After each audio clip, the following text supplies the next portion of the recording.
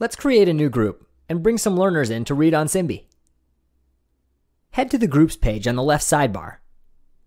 You can create a group using the Create a Group icon. Type in a group name and a description to help keep all of your groups organized. You can also select a color and icon. Press Create, and just like that, your group is created. Start by adding learners. You will be given three different options.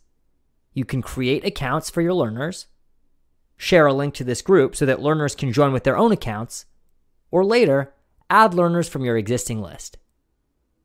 To create accounts on your learner's behalf, simply fill in their name, learner email, and parent's email are optional. Followed by their grade level. Your learners will not see their chosen grade level, but books will be recommended to them in their reading journey depending on the grade you choose. Once you're finished, you can select the button to add more learners and repeat these steps. Alternatively, you can upload your class list through CSV file. Check out the example formatting to ensure your learner information is added correctly.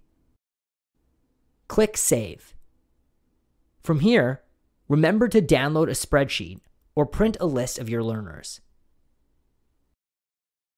In the Group Hub, you can see all of your learners and edit their profiles, or remove them from your group.